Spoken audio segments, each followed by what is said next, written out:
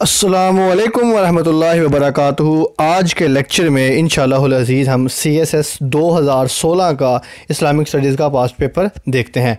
Okay पहला question है, कौन सी सूरत बग़ैर बिस्मिल्लाह के शुरू होती है?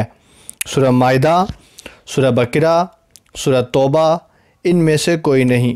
दुरुस्त जवाब है सी सूरह तोबा। सलातुल खौफ अदा की जाती है। बारिश के लिए, चाँद ग्रहण के लिए, सूरज ग्रहण के वक़्त, जंग के वक़्त।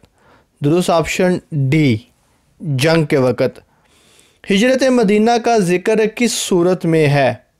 सुर अहज़ाब, बकरा अनूर अल्फ़ात्या दुरुस्त जवाब है ए सुर अहज़ाब में हिजरत मदीना का ज़िक्र है।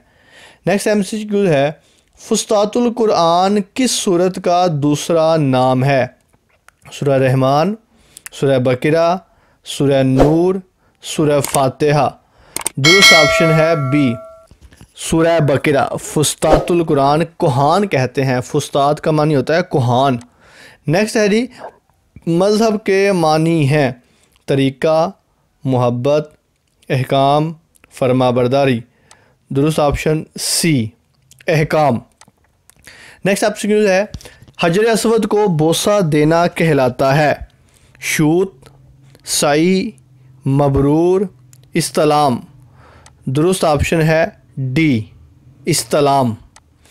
नेक्स्ट एम है, गैर वाज अल्फाज में तलाक देने को कहते हैं। बाइन, बिदत, खसूमत, इनमें से कोई नहीं। दुरुस्त ऑप्शन ए तलाक़ बाइन। नज़रिया इश्तराकीत के बानी का नाम है। हैगल कॉल मार्क्स, अरस्तु, अफलातून। दुरुस्त ऑप्शन बी कॉल मार्क्स नज़रिया इश्तराकीत का बानी था। हक महर पर मुकम्मल तौर पर किसका हक है? शोहर का घर वालों का, बीवी का, शोहर और बीवी दोनों का। दुरुस्त ऑप्शन सी बीवी का। नेक्स्ट एम है, औस्ता किस मज़हब की किताब है?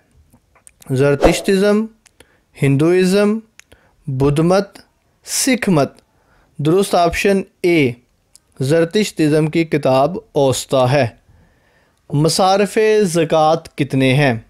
पाँच, आठ, चार, तीन। दुरुस्त ऑप्शन बी आठ, ये सूर्य अल की आयत नंबर साठ, सिक्सटी में बयान किए गए हैं।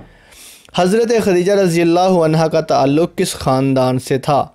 बनो अदी, बनो हवाज़न, बनो असद, बनो सकीफ़। दुरुस्त ऑप्शन सी, बनो असद से। तहज़ीबुल अहकाम किताब के मौलफ़ का नाम तहरीर करें। अबू मंसूर, अबू मूसा बिन यासर अबू जाफ़र, मोहम्मद बिन हसन तुसी, इनमें से कोई नहीं। दुरुस्त ऑप्शन डी, इनमें से कोई नहीं। बाबुल कुरान किस सूरत को कहा जाता है? सुर फातिहा सुर मायदा सुर रहमान सुर बकरा। दुरुस्त ऑप्शन ए सुर फातिहा को बाबुल कुरान कहा जाता है। बनी आद कहाँ आबाद थे? यमन में, हजर मौत में, अरब में, मरवा में। दुरुस्त ऑप्शन बी, हजर मौत में बनियाद रहते थे। M C Q number seventeen है जामकुरान लकब है। अबू बकर का, उमर का, उस्मान रज़ी अल्लाम का, इनमें से कोई नहीं। दुरुस्त ऑप्शन सी, उस्मान गनी रज़ी अल्लाह M C Q number eighteen फ़तह मक्का हुआ।